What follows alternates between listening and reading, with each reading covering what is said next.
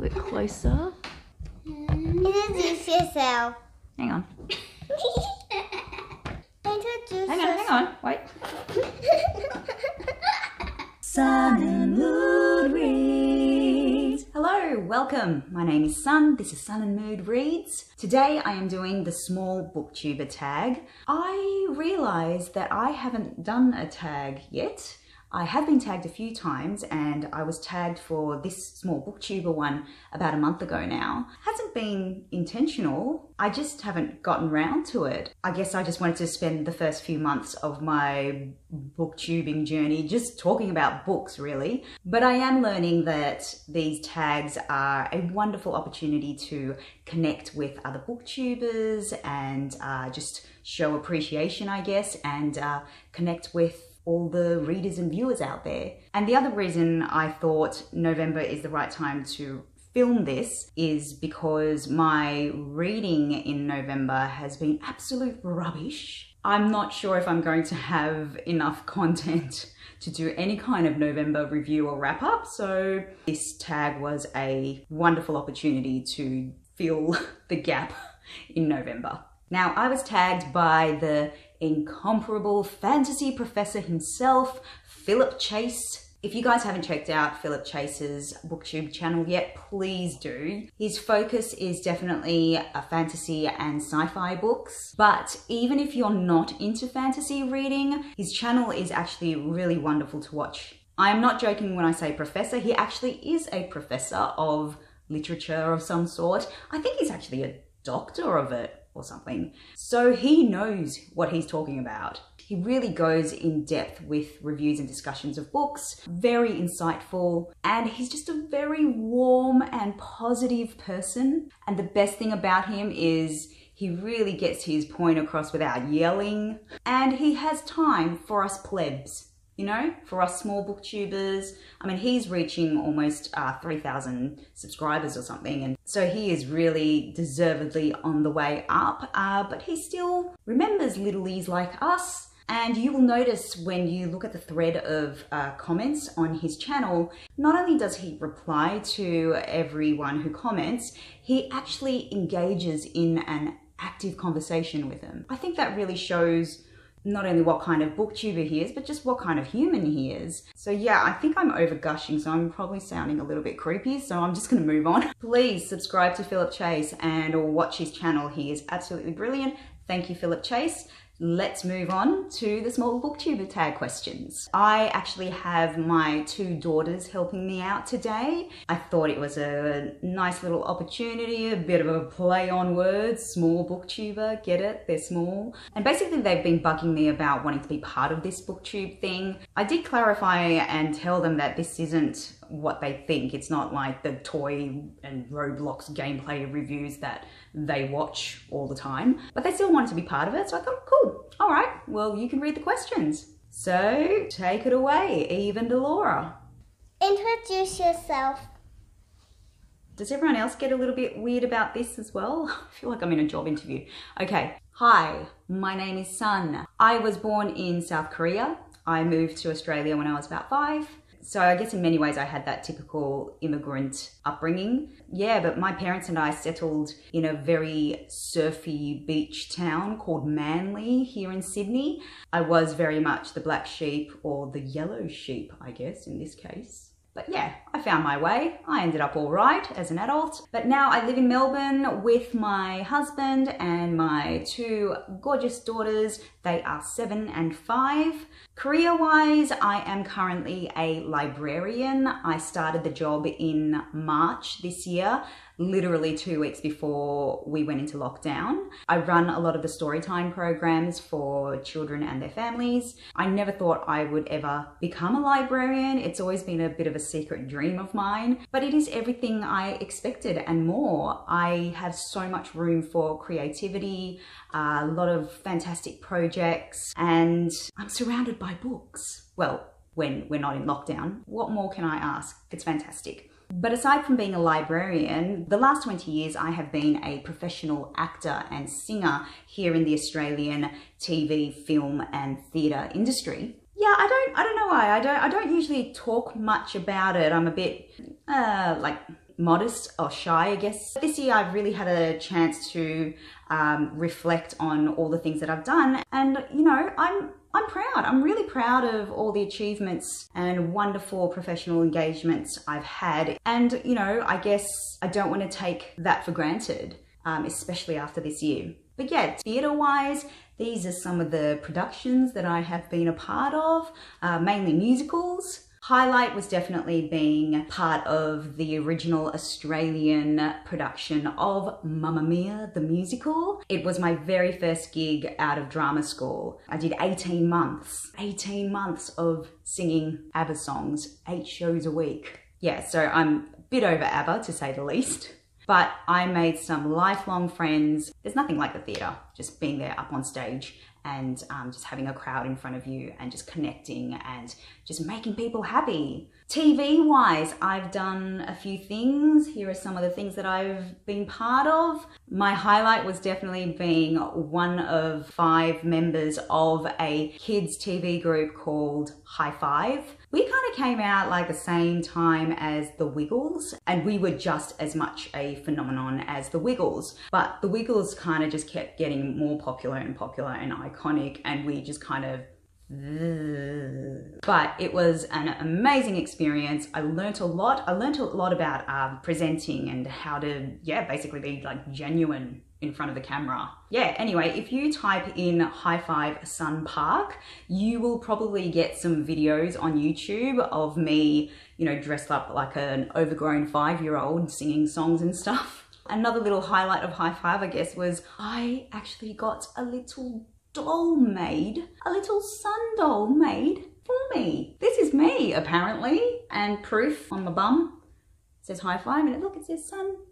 My five-year-old, she actually, well, she used to sleep with this until until a week ago.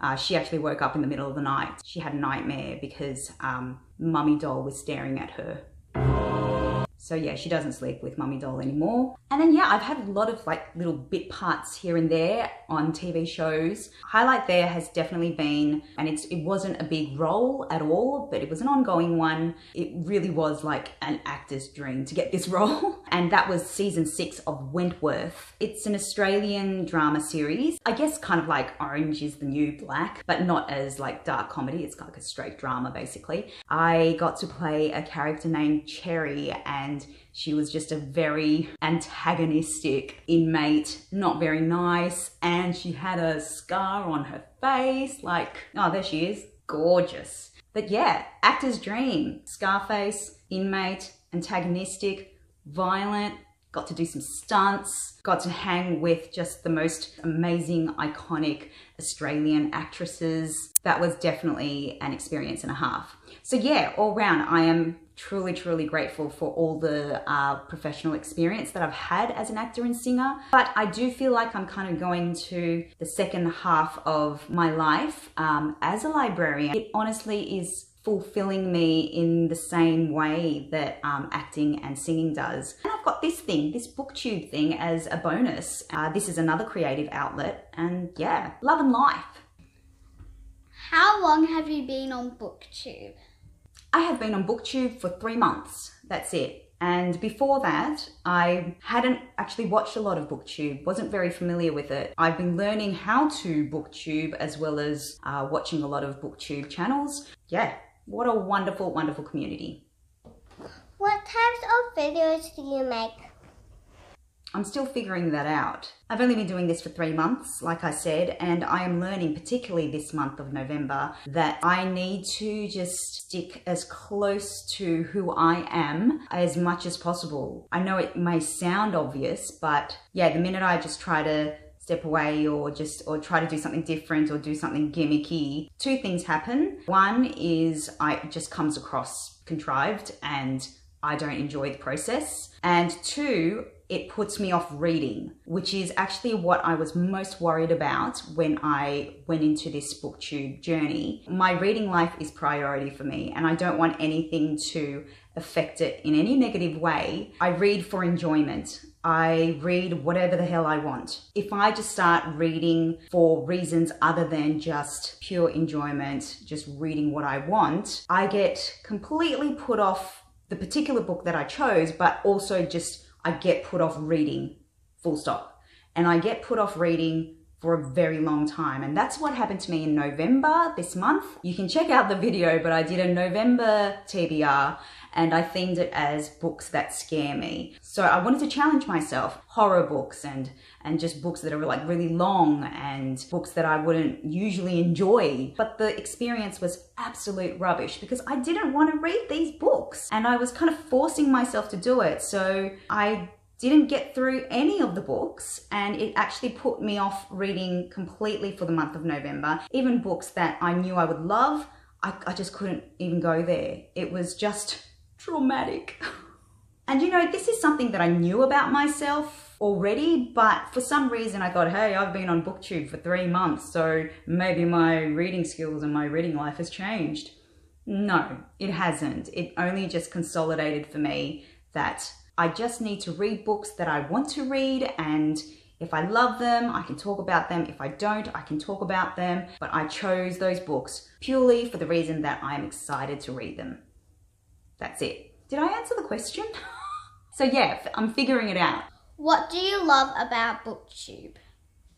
What do I love about BookTube? Generally in life, I feel fulfilled when I am ticking two boxes. One is creativity, the other is connection. I need to be creative. I need to have a creative outlet. I find that in BookTube. You know, it's all my own content. I am talking about something that I absolutely love. Yeah, I find it I find this really really fulfilling. And the second aspect, connection. You know, the other day I was talking to my best friend about BookTube that I'm enjoying it so much and it's really fulfilling me and doing some acting and singing it is fulfilling as well, but the highs are so high and the lows are so low. So it's, it's a different kind of sensation when it comes to creative fulfillment. I was talking to my friend about this and I said, I don't know what it is. I don't know. I can't seem to articulate it. And my best friend said, well, with stage and performing, especially in your younger years, you were seeking validation and sometimes you got it and sometimes you didn't. Whereas in something like BookTube, where you are your own you know, script writer, director, boss. It's all about connection, and you are getting that all the time with viewers, with other booktubers, with this whole wonderful, like minded community. And so I thought, that is it. That is what I love about this project. I have a sense of connection. Just the support network is so amazing. I've only been in this for three months and already I just feel like I'm part of some kind of awesome online family, you know? Yeah, so those are the two reasons. It's creative and I am connecting with others. So, yep, that's why I love BookTube. What types of books do you read?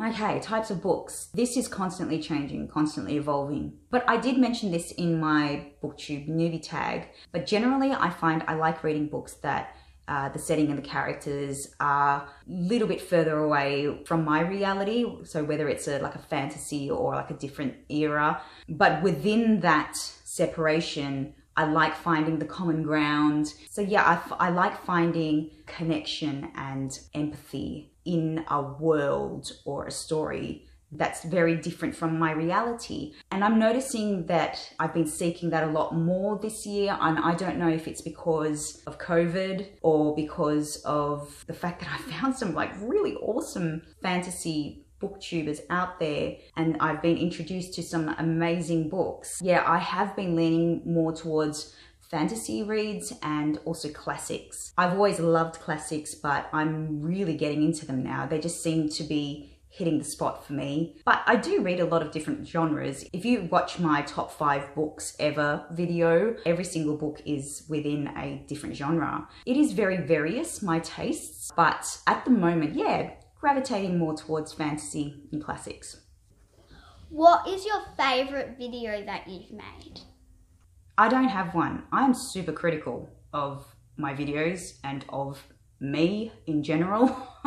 Actually, as much as I downplay it, I kind of enjoy just having my kids in this video. So I'm hoping I can kind of edit it together so it's kind of fun. I kind of enjoyed, you know, getting them involved. Yeah, my girls are really cool. Tag at least four small booktube channels or every small channel you can think of. Okay, so now we come to the good bit. This is why I wanted to do this. I just wanted to mention some amazing booktubers out there. This really isn't going to be a tag for the small booktuber because some of them aren't actually small. They're not small booktubers. I just wanted to mention them though because they're just wonderful and a couple of them have also mentioned me and I absolutely appreciate them doing that. Wonderfully supportive um, so I just wanted to reciprocate that, I guess. And also, I think a lot of these booktubers that I'm about to mention, they've already done the small booktuber tag. So really, I think this is more of a shout out. So the first one like I'd like to mention is Kate Howe. She's so wonderful. So a couple of days ago, I started getting all these subscribers suddenly and I thought, oh, what's going on? And then I just went on to Kate's uh, channel just to check out all the wonderful reads that she's been reading lately. And I noticed in her booktube shout outs, she mentioned me and I thought, what? So I guess I just wanted to return that favor and say, everyone, please, please, please check out Kate Howe. She is a wonderful, wonderful booktuber. She's not small by any means. She's, I think she's got about five, 6,000 followers. Um, not followers, what do you call it? Five, 6,000 subscribers. She is very, very passionate about all things classic and uh, mystery. And we have a few little common interests with our mystery reads and our classics and our love for the audiobook narrator slash actress Juliet Stevenson. Yes, she's just wonderfully brilliant and just so supportive of fellow booktubers. And um, she's also a super booktube mum like myself. Hell yeah to all the mums who find time somewhere to read books and talk about them. So yes, please check her out. The next booktuber I'd like to mention is Amrita by the Book. She is so freaking funny and so freaking smart. Honestly, some of the videos, the reviews, thoughts, discussions that she comes up with are just genius and so funny and so witty and just really thought provoking as well. Man, her brain, I swear if I was a zombie, her brain would be the first one I would eat everyone needs to check her out. She needs to have more subscribers than she has. There's a video where she ranks all the Mr. Darcy's of all the adaptations. Um, that's quite funny. She does this really funny series of bad news lovers where she just kind of analyzes and talks about all the all the male romantic protagonists that uh, have been around in the literature world. Yeah, like she's just got so much fun stuff. So please, please check her out. Okay, the next booktuber I'd like to mention, oh, I don't know how to say his channel. Dementidoti? Dementidote? anyway, his name is Ben. He reads a lot of literary fiction and classics. I literally just discovered him like three days ago through Kate Howe. He is hilarious. And it seems that he's come from like a drama school background, so he's like an actor, uh, much like me. If we had gone to drama school together, we would have hung out and we would have been those guys that, you know, got up to mischief. I just watched a review that he did of Jane Eyre, which is my, you know, favorite book of all time. And he like semi acts out a lot of the characters and the plot as he is reviewing. It's absolutely entertaining and quite insightful as well. So yeah, please, please check him out. So the next booktuber I'd like to mention is Liz from Galactic Reads. She is an Aussie booktuber, a fellow Melburnian as well, which I recently discovered. And as you might guess from her booktube channel name, she does review a lot of uh, sci-fi and fantasy books, but I just find her reviews and her thoughts and discussions really, really interesting to watch. Yeah, she just has some really intelligent, wonderful things to say about books, and she also works in the publishing industry. Uh, so she has a lot of great thoughts on structures of stories and editing and, and and plots and just all that kind of aspect that I don't know how to pinpoint, but she really goes into it. So that's really interesting. I really like her lighting in her videos. She's just got this beautiful kind of like psychedelic blue lighting atmosphere. It's like this like, it's like a psychedelic fish tank. But yeah, it's kind of cool. The next booktuber is also another Australian. His name is Sam Dawson. He's another booktuber where I just I just get his humor, I get his cynicism. He also reads a lot of uh, literary fiction, contemporary, quite a bit of Australian fiction as well. So if you're after Australian book recommendations, I'd go to him. I think I'm yeah, I think I'm attracted to booktubers who I feel like in my real life I just like to hang with, and um, Sam Dawson is definitely one of them.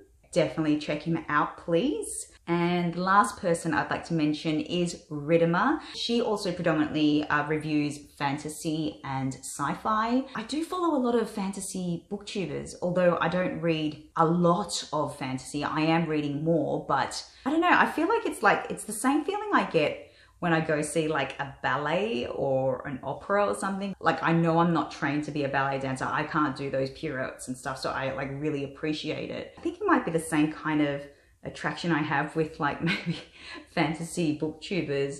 I just feel like I look up to them and go, oh wow, they know so much about fantasy. And I get so many wonderful recommendations and um, they've really helped me learn how to just kind of like process and really look at the parallels and look at fantasy stories on a deeper level. But anyway, Riddhima, she's fantastic as well. Um, she's just got a really wonderful, calm demeanor about her, and just she has just some really original discussions about fantasy reads. A lot of the books that she reviews and talks about, I've never read, and I don't know if I'll ever read, but I just really like watching her talk about them. and I've mentioned this to her, but she looks like the real life version of Pocahontas. So yeah, anyway, she's awesome. Please check her out as well. Okay, so that was it. That was my small booktuber tag. Thank you so much once again to Phillip Chase for tagging me. And thank you to my daughters Alora and Eve for reading out the questions and being part of my video yeah, that was fun. All right, well, thank you so much for watching. Uh, please uh, check out the booktubers that I mentioned. Links are below. Say hi in the comments. Subscribe if you feel compelled to. Hopefully I will see you next time. Bye. Sun and moon.